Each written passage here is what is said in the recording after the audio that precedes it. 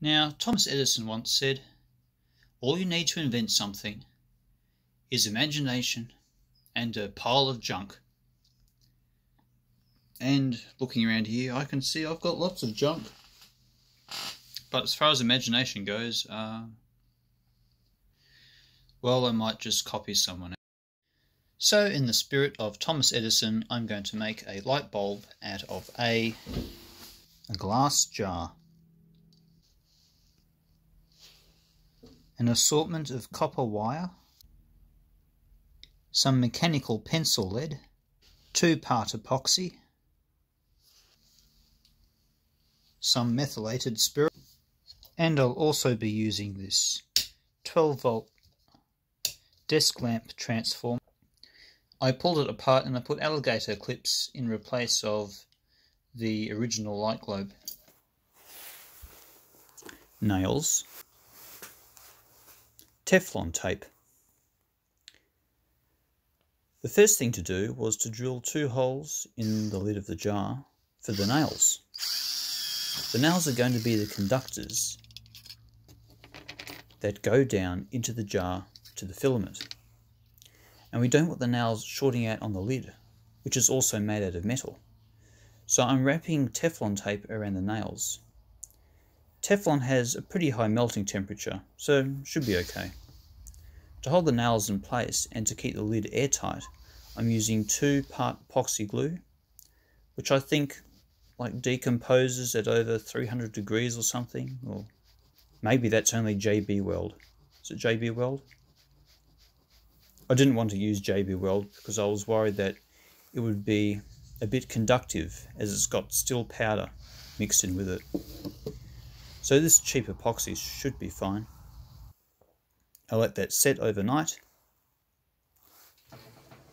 Now I'm cutting some grooves in the end of the nails with a hacksaw for the filament to rest in. Now this filament, which you might have guessed by now, is the mechanical pencil lead.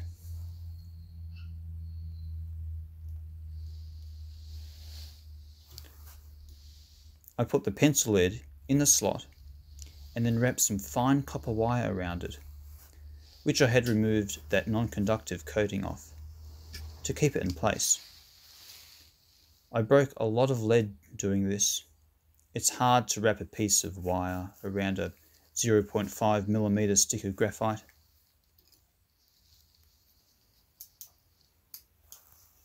So here is a short test of the graphite or the pencil lead running outside of the jar. It never lasts very long before the graphite and carbon burns up thanks to all the oxygen. So I'm going to remove all the free oxygen by burning it before it has a chance to burn the filament, just by burning methylated spirits in the jar and closing the lid. It's not a perfect solution, as it doesn't only produce carbon dioxide but also water after burning, but it is still better than free oxygen Now I have to get the ratio of alcohol to air just right as I don't want alcohol heating up in the jar making a dangerous glass pressure vessel. I want it all gone after I close the lid. I didn't do any calculations for this, just lots of experimentations. Burning inside the jar also has the benefit of reducing the air pressure in the jar. Less air on the filament is better and also helps with the possibility of exploding jars. This glass may crack in the heat.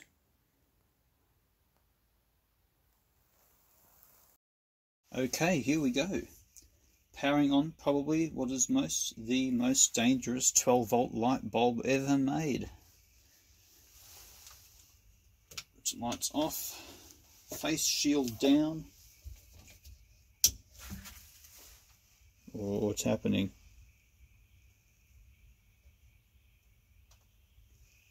How long will it burn for? Still going.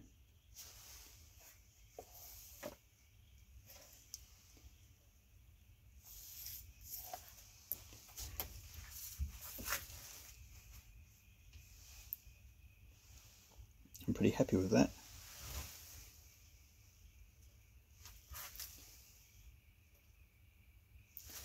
wonder if it will explode or something. Oh, it's gone. Ah, oh, well. Well, I was hoping for it to run for a few minutes, and it did look very promising, as the light it was producing was steady and constant, telling me that the graphite wasn't burning up. As you can see in this example, the light intensity changes as the graphite gets thinner and then stops.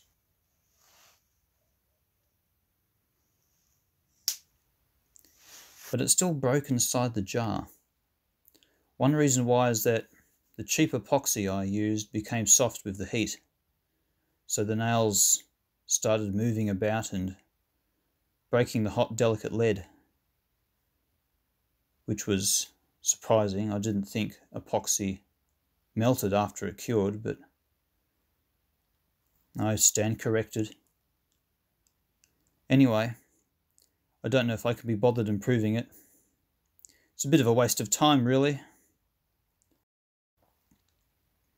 Oh, and if you want to make one of these dangerous things, consider me a bad influence.